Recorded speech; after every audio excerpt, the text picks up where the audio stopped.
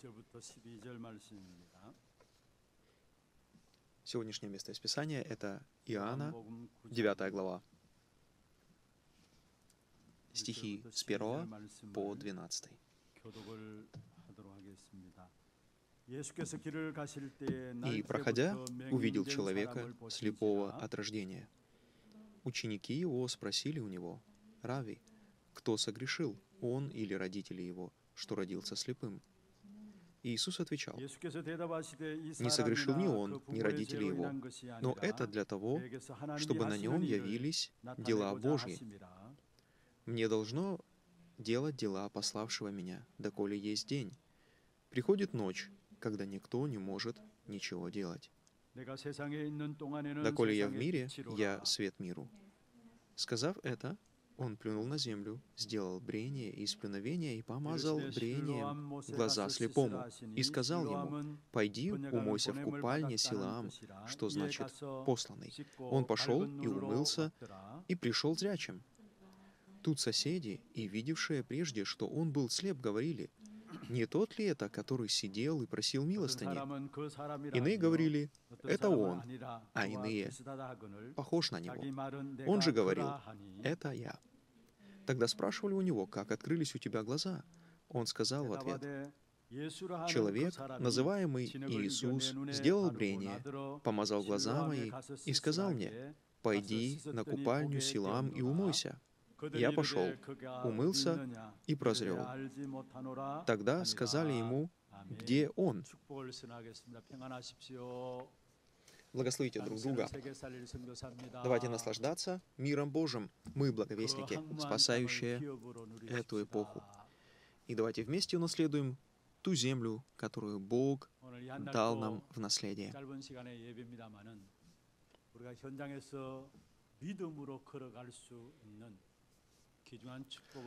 И пусть это короткое время, время богослужения, Пусть это станет временем, когда откроются наши духовные глаза, и когда мы получим силу для того, чтобы в течение недели идти, следуя за Христом.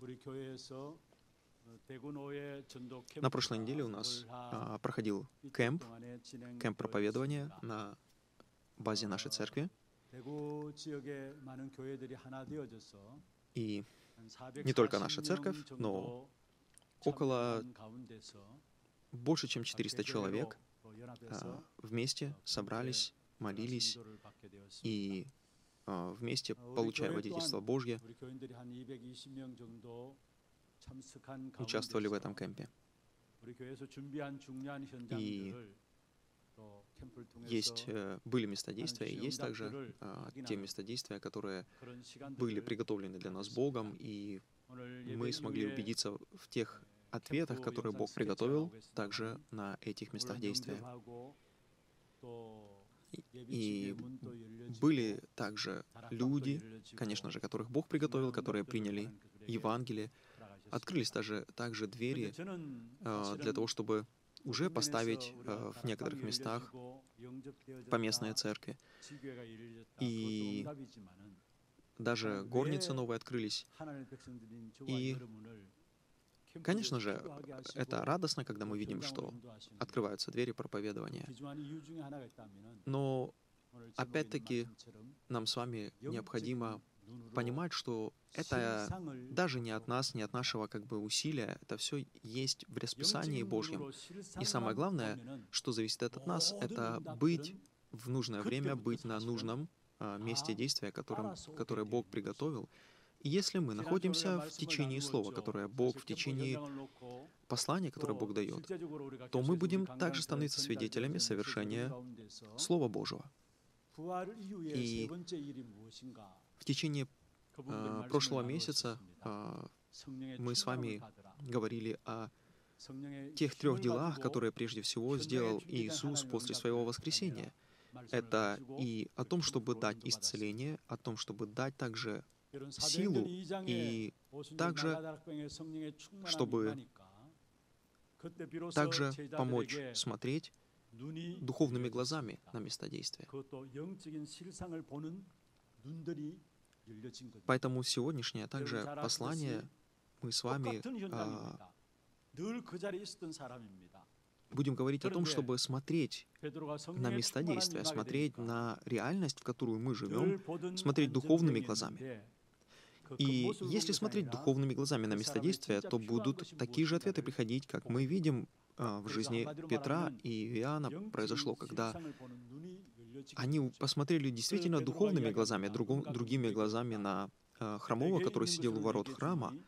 И тогда Петр сказал, что золото, серебра нет у меня, но именем Иисуса Христа Назарея встань и ходи. Потому что он сказал, что имею, то даю. Поэтому а, это тоже для нас описано не, не для того, чтобы, конечно же, где мы будем видеть хромых, мы будем молиться и говорить, и они будут вставать и ходить. Здесь а, смысл для нас такой тоже может, конечно же, произойти, но смысл здесь в том, чтобы если мы будем смотреть на места действия духовными глазами, мы сможем увидеть а, то, что мы обычно не замечаем, то, чего мы обычно не видим и что препятствует нам с вами также получать действительно ответы. Также э,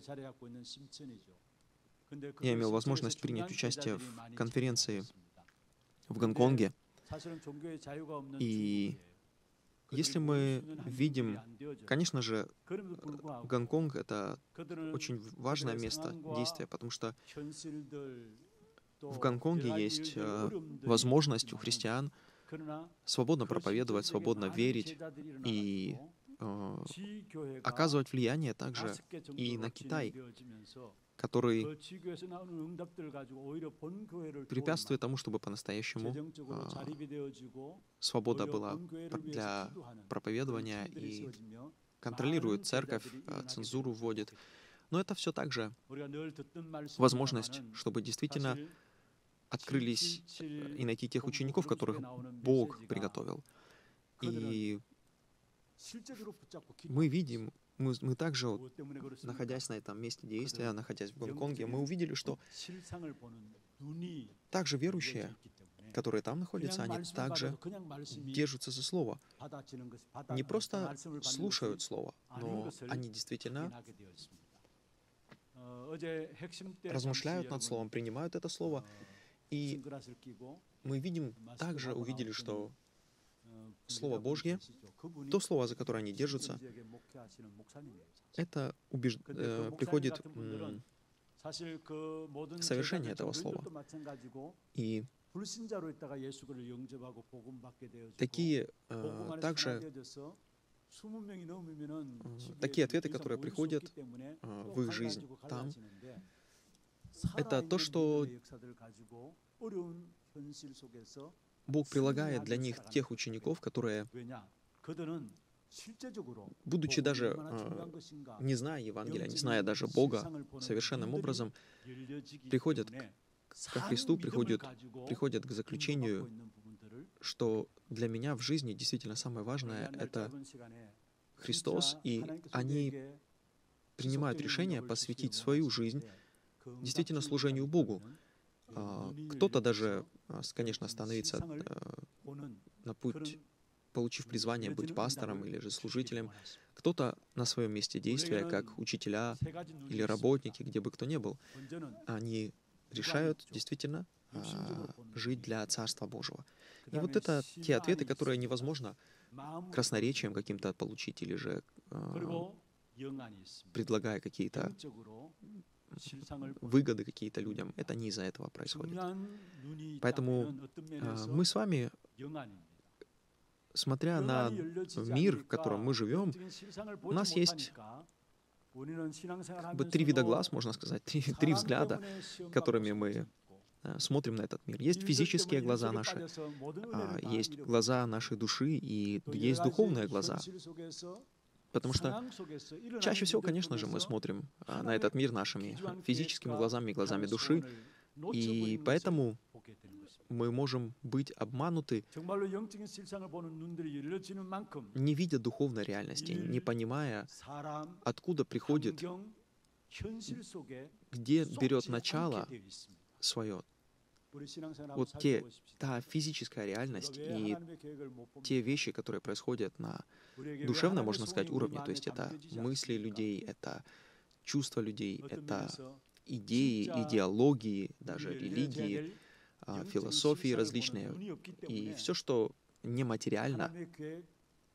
И вот если не понимать духовного, если не иметь духовных, духовного взгляда, то Э, будет все заканчиваться на душевном, и тогда причиной проблем физических мы будем видеть э, людей и их решения, их мысли, и будет э, естественным образом конфликты происходить как в семье, так и в обществе, так и между странами. Поэтому нам очень важно — для, для нас, а, чтобы наши духовные глаза были открыты. Особенно ремнанты. Если мы живем в такую эпоху, когда действительно особенно важно смотреть духовно, потому что каким бы ни были, как бы яркими, как бы ни были открыты наши физические и духовные, душевные глаза, если не будут открыты духовные, то мы можем упустить то важное, что в нашей жизни Бог желает дать, Божий план. Поэтому дьявол пытается обмануть, заставить смотреть на все вещи а, через призму духов, душевного и физического, через э, социальные медиа, через э, средства массовой информации, через э, все эти все что все что вообще есть сейчас в этом мире, через это все дьявол, конечно, пытается наш взгляд, чтобы наши духовные глаза были закрыты. Поэтому давайте посмотрим вначале люди, чьи э, духовные глаза закрыты. Какие есть, э, кто эти люди? И если мы видим э, в отношении 9 главы Иоанна мы сегодня читали, то как раз фарисеи, те люди, которые, казалось бы, на уровне физическом, на- на уровне знаний, а, по сравнению с другими людьми, которые были в ту эпоху вместе с ними жили, конечно же, они были образованными, конечно же, они были людьми, которые были такой, можно сказать, элитой даже этого мира, но по-настоящему их духовные глаза были закрыты. Первое, что нам необходимо смо- посмотреть, это посмотреть на то, каким образом Бог сотворил человека. Мы были сотворены людьми, которые наслаждались прежде всего духовными благословениями, потому что мы были сотворены по образу и подобию Божьему. И Бог вдохнул дыхание жизни, и поэтому мы имели общение с Богом. Мы были творением, которому Бог дал всю власть над физическим миром.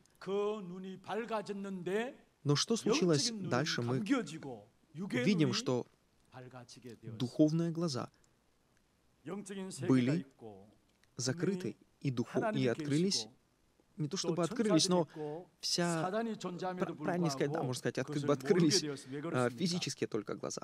Потому что до этого, до э, происшеств, до того, что случилось в Бытие 3 главе, когда через дьявола люди были обольщены, они смотрели, и Адам и Ева, они смотрели на мир через призму физических, душевных и духовных глаз. Но когда закрылись их духовные глаза, то они стали смотреть на все с точки зрения, можно сказать, как мы и видим сейчас, то есть эгоцентризм, выгода, какие-то моменты, которые, а, не понимая связей по-настоящему, потому что мир, в котором мы живем, это же не просто физический мир, это мир, который постоянно связан физическим, душевным и духовным.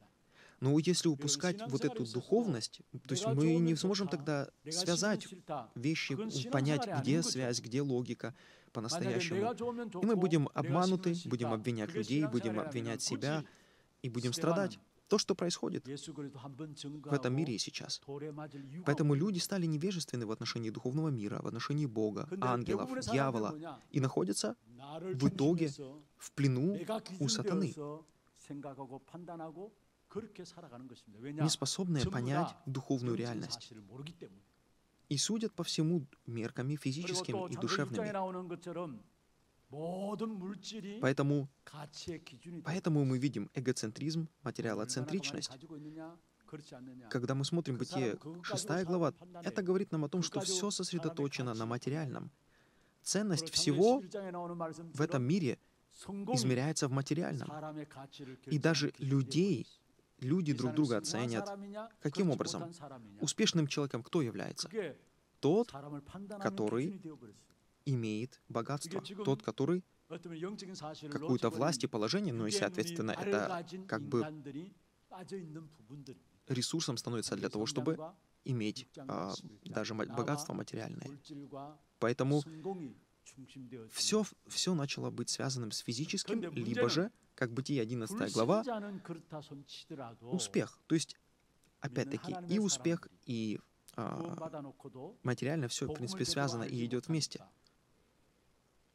Поэтому, что мы видим даже дальше происходит? Так как духовные глаза людей закрыты, то, несмотря на то, что закрытый человек-то ведь является духовным существом, поэтому, что мы видим? А, на местах действия, что мы видим в этом мире происходит, то, что люди подвергаются действию, сами того не осознавая, становится, становится просто иногда оружием в руках сил тьмы, становится просто э, находятся под контролем идей, идеологий, каких-то знаний, которые становятся стандартом, которые становятся рамками определенные, становятся путем путем жизни. Поэтому Павел писал, что нам необходимо пленять послушанию Христу. Нам ну, необходимо вести духовную войну. Нам необходимо, чтобы все знания действительно действительно дать настоящее, настоящее знание, духовное знание, которое поможет освободить мысли, которое поможет все то, что укоренилось в наших сердцах, все то, что укоренилось в сердцах людей в этом мире, чтобы, это, чтобы действительно новое запечатленное, чтобы новое истинное знание пришло и укоренилось в жизни и в мыслях людей. Люди, а, когда мы видим также 12 стих, а, там сказано, что если, когда э, злой дух выходит из человека, то он уходит, он ходит по безводным местам, и когда возвращается, то находит дом чистым и пустым. И тогда он зовет еще других семь злейших бесов, зле, зле, злейших духов, и тому человеку становится еще хуже, чем было до этого. О чем это говорит? Это говорит о жизни людей, которые через определенные религиозные практики, через определенные учения пытаются привести в порядок свою жизнь, а, очистить себя, какие-то э, обрести необходимые, развить в себе необходимые навыки. Но что мы видим в итоге? Мы в итоге видим, что так как и есть, как и мы в нашей жизни видим это все, то эти люди становятся либо же сама, сама их жизнь приходит к поражению, либо же они становятся оружием в руках сил тьмы. Они становятся теми, через которых дьявол, через которых дьявол работает, через которых э, совершаются дела, дела дьявола. И поэтому, к сожалению, что мы видим, что через таких людей, которые, через которых происходит внедрение ложных идеологий, ложных ценностей, а, ложного образа жизни, который является в корне своем эгоцентричным, материалоцентричным, а, успехоцентричным. То есть люди а, в итоге начинают жить таким же образом, путями, по путям мира этого.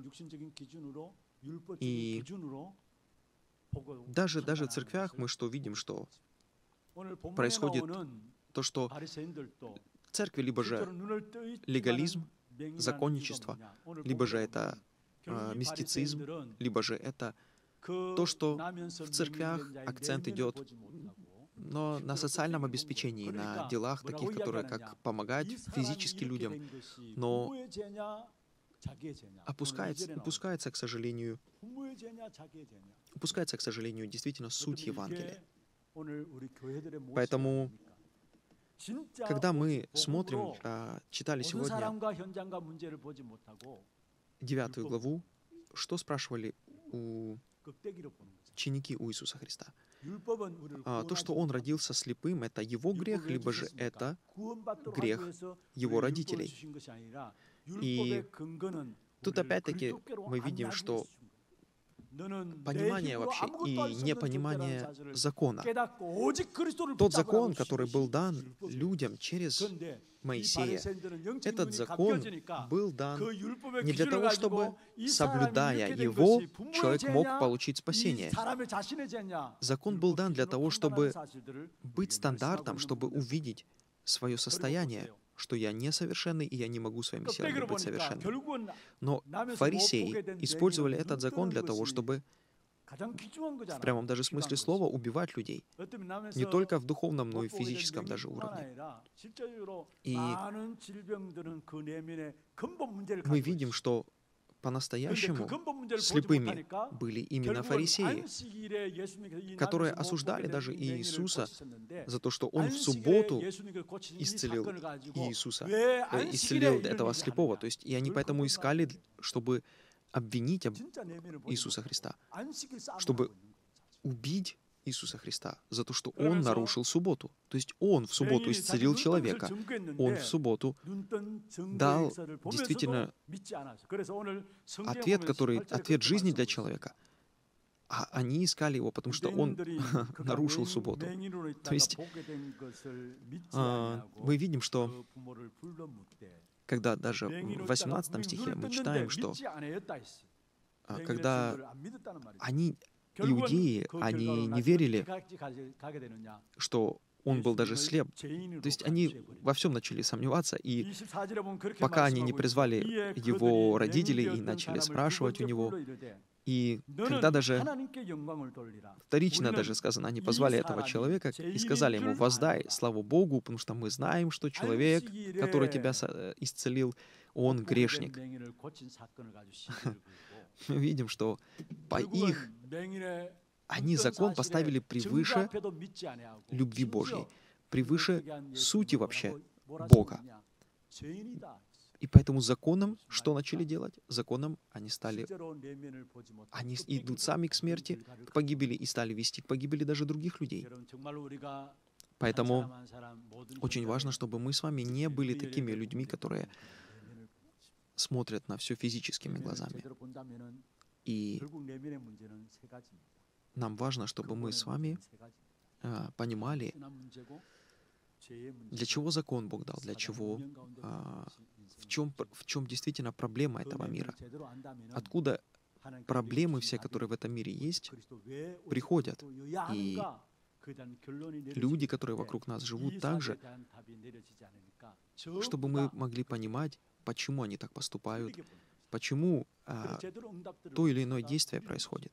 Тогда мы, мы не будем обманываться, тогда мы, мы не будем впадать в искушение, мы не будем отчаиваться, потому что мы будем понимать и знать, что всемогущий Бог пребывает вместе со мной, и что Он дает мне силу превзойти все проблемы, которые бы не были. Поэтому Обращаясь снова к Писанию сегодняшнему, что мы видим? Они говорят, что фарисеи, они говорят, мы, не, не являешься ли ты учеником его? А они же говорят, мы же являемся учениками Моисея. И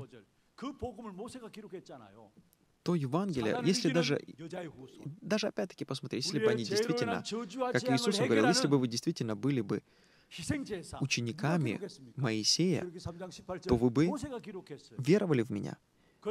Потому что Моисей писал о чем? Моисей писал, Бытие 3 глава 15 стих о семени жены. Моисей писал, Исход 3 глава 18 стих о жертве крови. В 21 главе 9 стихе числа он писал о бронзовом змее, который был на древе, и на который, посмотря, все получали исцеление и жили. То есть, посмотрите, вот, вот, вот это все то, что действительно, действительно не закон цель, цель была. То есть закон, посмотрите, ведь дан был сколько сколько лет прошло после того, как Бог дал закон, и причина, для чего Он дал закон, зная, э, зная израильтян, зная вообще понимание, понимая уже людей, для этого Бог дал. Для того, чтобы можно было прийти к пониманию, что через знание, через соблюдение закона мы своими силами не можем, потому что мы не являемся полноценными и совершенными без Бога, без Духа Божьего. И наш Дух Наши духовные глаза закрыты, и мы не можем принимать те решения даже, которые будут по-настоящему благими, хорошими и для меня, и для других людей. Поэтому и живем во грехе, потому что грех — это состояние. Это не просто дела, которые делаем. Дела, которые делаем, это результат того, что мы живем во грехе. Вот, вот это все то, о чем также показывал Моисей, это все то, что необходимо нам с вами хорошо понимать, чтобы мы также не впадали в заблуждение, что я могу потерять спасение, или же мне нужно что-то делать, чтобы совершить мое спасение. То есть вот эти все а, теории, версии, учения, которые не соответствуют действительно Библии, не соответствуют Евангелию.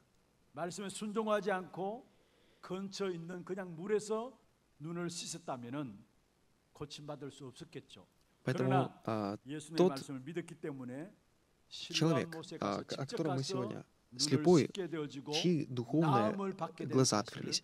По-настоящему, конечно же, открылись его и физические глаза, но по-настоящему мы видим, что открылись его духовные глаза, потому что он уверовал в Иисуса Христа. Он уверовал, что Иисус является Христом и является Мессией.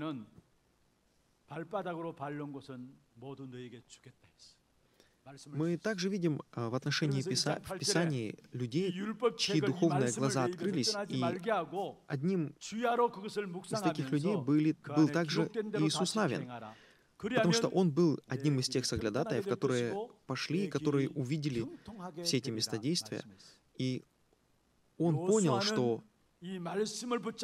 то слово, что э, что то обещание, которое Бог дал, несмотря ни на что, несмотря ни на какие бы сильные не были народности, что бы там ни случилось, Бог совершает свое слово. И Он смотрел не физическими глазами, Он смотрел духовными глазами. Поэтому Он держался за слово, что всякое место, на которое ступит нога моя, будет дано мне. И Он стал новым лидером после Моисея. Поэтому что написано?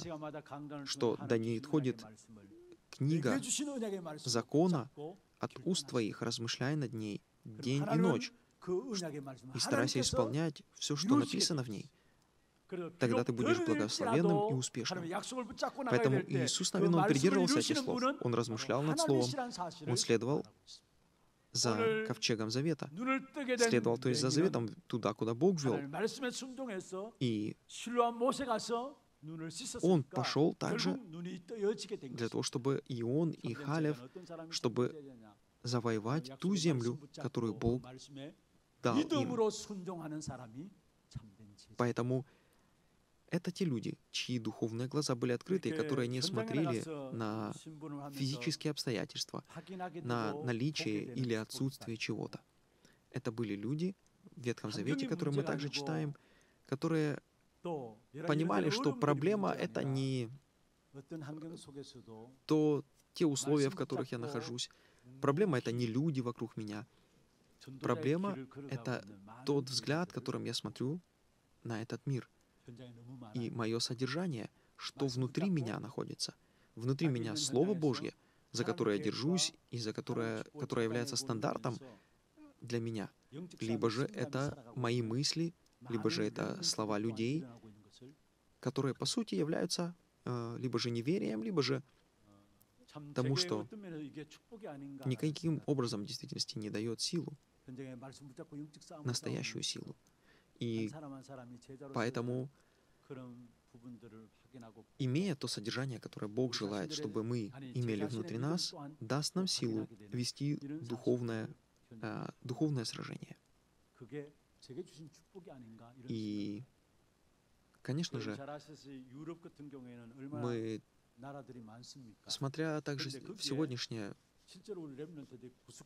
на сегодняшнее место действия, которое а, есть у нас, которые связаны с нами. И посмотрите даже в отношении вот, ну, верующих, которые есть а, в Европе, и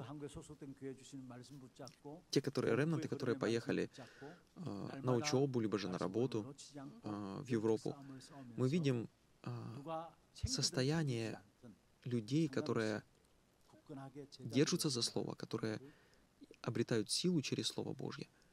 И мы видим тех людей, поколения верующих, которые э, в Европе также чьи родители верующие, чьи, и кто верующие, но которые находятся в э, бессильном состоянии духовном, следуя за течению уже, в течению этого мира. И вот когда была, проходила также и а, конференция а, в Европе, мы также были возможность у ремнатов из разных стран в Европе встретиться а, а вместе. Голландии также. и поделиться теми, а, поделиться тем, а, теми свидетельствами, которые, теми свидетельствами, которые у них есть. Потому что, э, казалось бы, да, они там в Европе находятся, но Европа это же не одна страна, это разные страны, и очень часто многие из них, они находятся а, одни на том месте действия, а, которое Бог им доверил.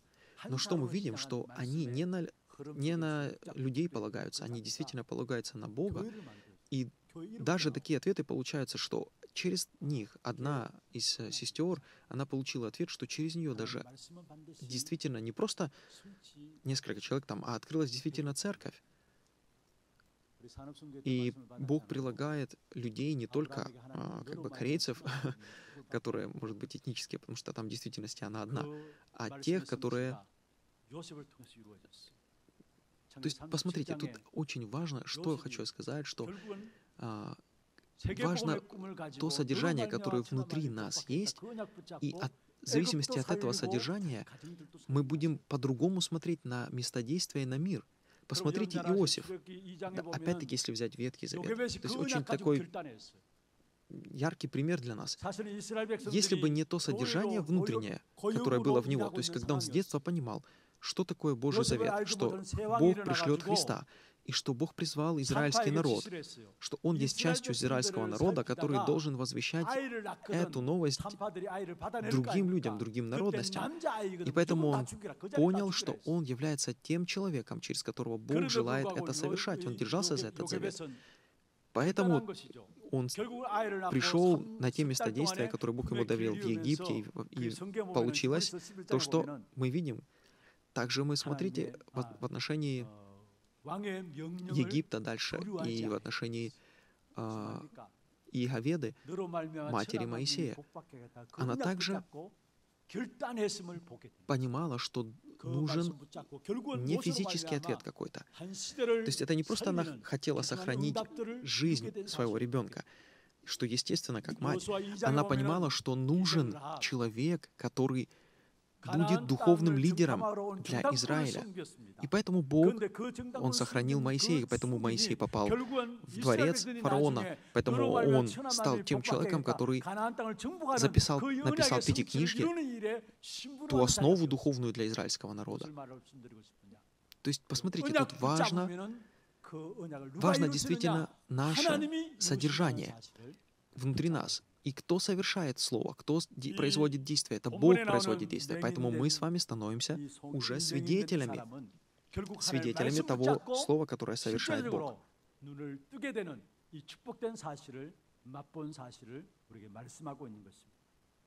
Поэтому, читая сегодняшнее место из Писания, размышляя над этим также, нам с вами важно быть теми людьми, молиться о том, чтобы мы были теми людьми, как этот а, слепой человек, которого глаза открылись, чтобы наши духовные глаза открылись. Если э, мы посмотрим 9 глава, 35 стих, что там сказано? А, когда Иисус услышал, что а, фарисеи выгнали его за то, что он а, не послушал их, но он считал Иисуса Христа действительно не грешником, а святым Божьим. И он, найдя, сказал ему, «Э, «Ты веруешь ли в Сына Божьего?» И он сказал, «Да, Господи, а, но кто он, чтобы мне веровать в него? Где он? Иисус сказал, что ты видел ты его, и он говорит с тобой. И что он сказал? Верую. И поклонился ему. Поэтому у него не просто физические глаза открылись. Мы говорим о том, что у него открылись духовные глаза. Глаза, которые дают возможность правильно, правильно смотреть на этот мир. Поэтому Иисус, Он пришел дать истинную свободу тем людям, которые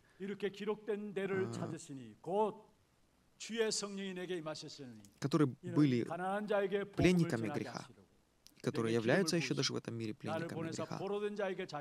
И об этом а, Луки 4 глава, 17-18 стих, там что сказано?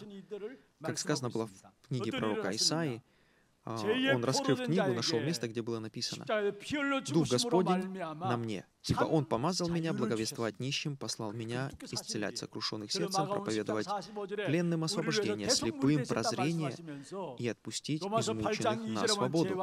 И также и Марка 10 глава 45 стих сказано, что «Я пришел для того, чтобы служить, послужить людям». И Римлянам 8 глава 2 стих говорит о том, что те, кто во Христе Иисусе, уже освобождены от закона греха и смерти.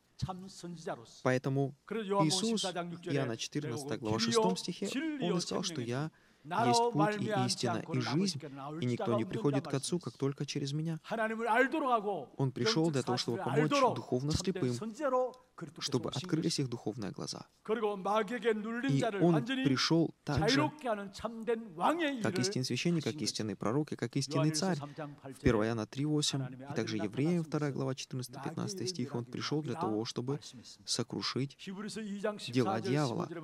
И так как сказано, чтобы он пришел, что лишить силы имеющего, имеющего э, державу смерти, то есть того, кто это есть? Это и есть дьявол. То есть того, кто держит в своих руках через грех людей и обманывает их, он Иисус Христос Он пришел для того, чтобы сокрушить эту тьму, сокрушить эту силу. Поэтому это есть та реальность, которую нам необходимо видеть духовными глазами. Это есть реальность видеть Божью работу, которую Бог уже совершил, которую совершает и сейчас, и по сей день, и будет совершать дальше. Это духовные глаза, которые помогают нам видеть работу Духа Святого внутри нас, потому что сказано, что Он прибудет вместе с нами, и мы являемся уже храмом Божьим, 1 Коринфянам 3,16. И нам дан дух усыновления, и Он ведет нас через Слово Свое.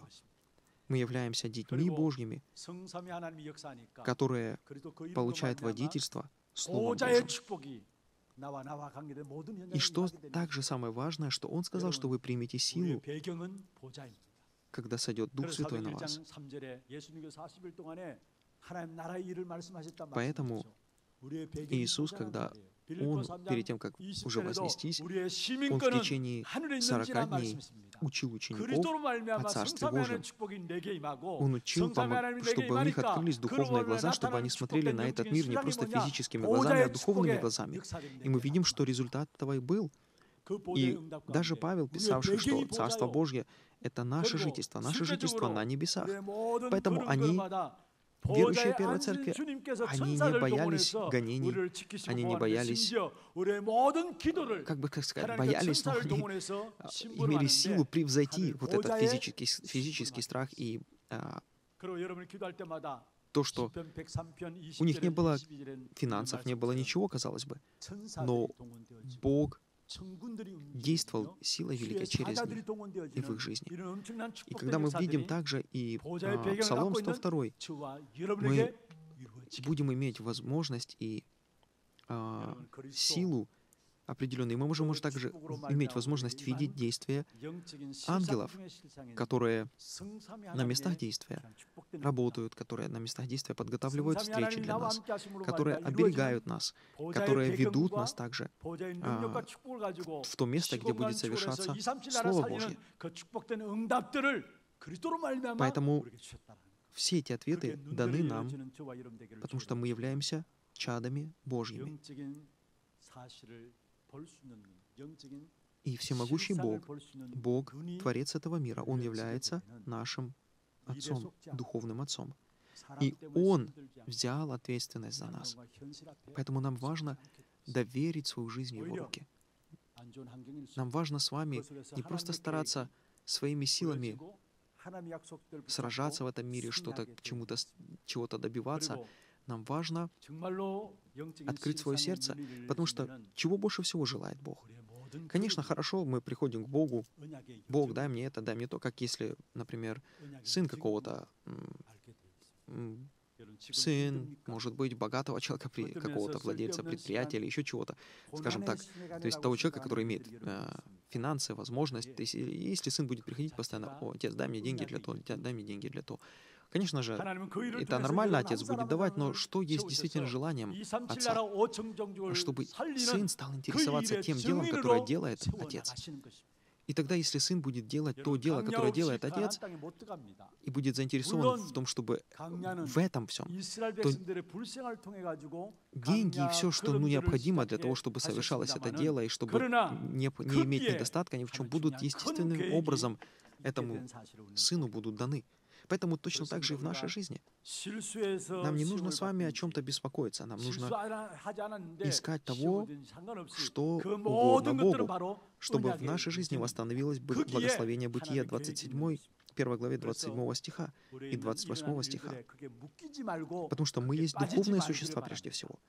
И нам необходимо с вами наслаждаться счастьем в Боге и общением с Ним. И Бог нас призвал быть источниками благословения для всего мира не для того, чтобы мы своими силами как-то соревновались с другими, а для того, чтобы мы наслаждались победой, которую Бог нам дал. Мы уже получили благословение и ответы, и победу. Нам лишь нужно прийти на те места действия, которые Бог нам доверил, и открыть эти благословения, убедиться в победе. Мы уже сражаемся сражением, в котором победа уже дана. Поэтому очень важно, чтобы мы могли восстановить в нашей жизни даже пять минут утренней молитвы, духовного саммита своеобразного, чтобы мы могли себе сами напомнить, кто мы есть, чтобы я мог напомнить, что я сам себе, я есть чадо Божье, я есть тот, который которого Бог призвал в свой чудный свет. И Бог сказал, что я есть тот из народа Божьего, и Бог призвал меня быть царственным священником на моих местах действия, быть источником благословения. Даже пять минут этого достаточно, чтобы наши духовные глаза открылись. И тогда мы сможем в течение дня на обстоятельства, на встречи по-другому смотреть. Мы сможем увидеть Божий план в этих всех обстоятельствах и ситуациях. И через, если мы действительно откроем духовные глаза, то мы не будем обманываться обстоятельствами и словами людей, что бы ни происходило. И тогда в конце дня мы сможем убедиться в тех ответах, которые Бог нам дал, и тогда мы сможем, наш, сама по себе наша жизнь, наш образ жизни будет становиться уже духовным шедевром определенным, потому что Через нас будет происходить действие спасения, оживотворения, мест действий людей.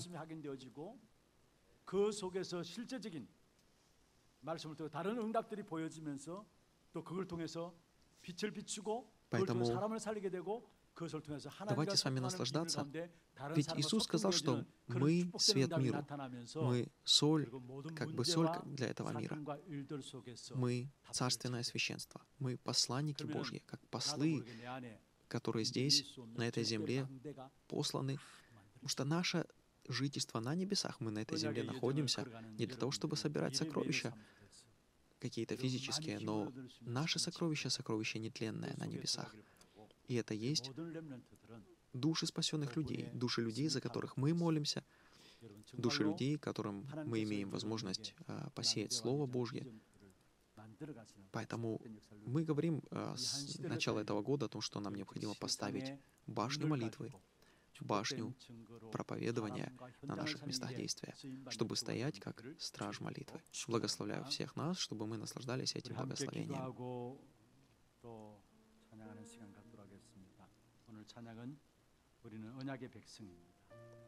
И сегодняшнее прославление — это мы, народ Завета Божьего. Давайте также посмотрим наше духовное, э, наша тема молитвы. Мы э, помолимся, чтобы действительно мы могли смотреть на мир духовными глазами.